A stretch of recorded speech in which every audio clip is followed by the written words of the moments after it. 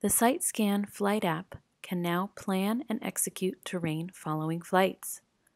This example shows an area survey of a highly vegetated property located on a hillside. By enabling terrain follow and switching to 3D view, we can see how the drone's flight path has been adjusted to maintain a constant height above the ground.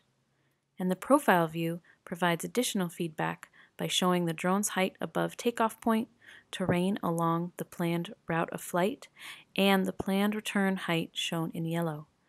Complete your fully customizable pre-flight checklist and acknowledge the automatic safety checks to initiate the mission.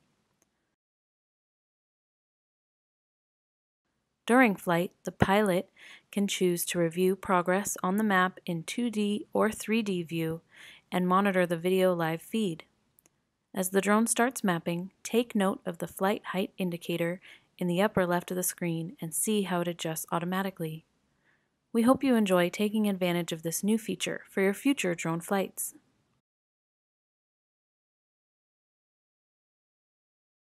SiteScan Flight now supports high accuracy GPS from the Phantom 4 RTK drone.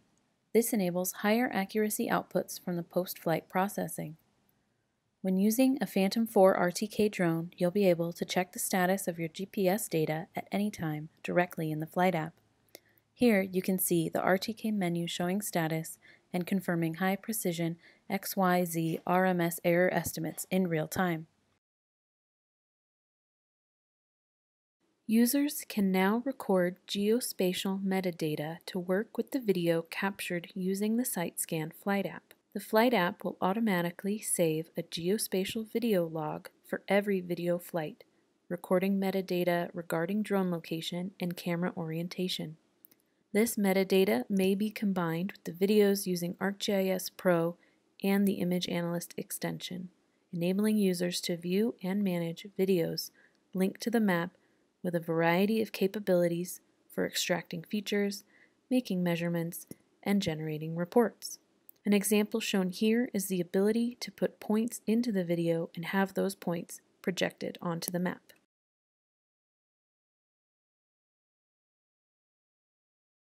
The SiteScan Flight app can also interface with ArcGIS Quick Capture. This means that you can collect GIS data points in near real time based on the drone's location. Make sure to create a Quick Capture project back in the office and add your drone as a new location provider in the Quick Capture settings before the flight. Plan your SiteScan flight or use inspect mode to fly manually. Have a team member open Quick Capture on their mobile device.